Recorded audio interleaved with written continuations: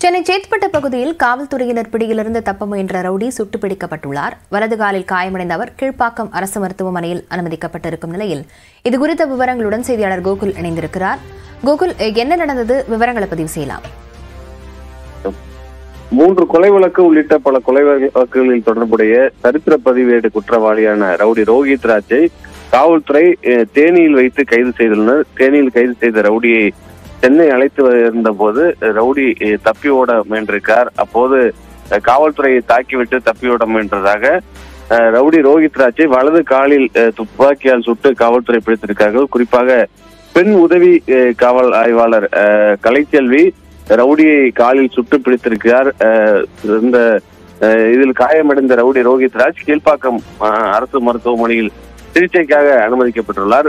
ரோஹித் ராஜ் மீது மூன்று கொலை வழக்கு உள்ளிட்ட பல வழக்குகள் நிலுவையில் இருக்கும் போது ஒரு தலைமறைவாக இருக்கும் போது தேனியில் வைத்து காவல்துறை கைது செய்திருக்கார்கள் சென்னை அழைத்து வரபோது காவல்துறை தாக்கிவிட்டு தப்பியோட முயன்றதாக கூறப்படுகிறது. அந்த அடிப்படையில் அஹ், தற்பொழுது வலது காலில் பெண் உதவி ஆய்வாளர் ரவுடி துப்பாக்கியால் சுட்டு பிடித்திருக்கிறார்.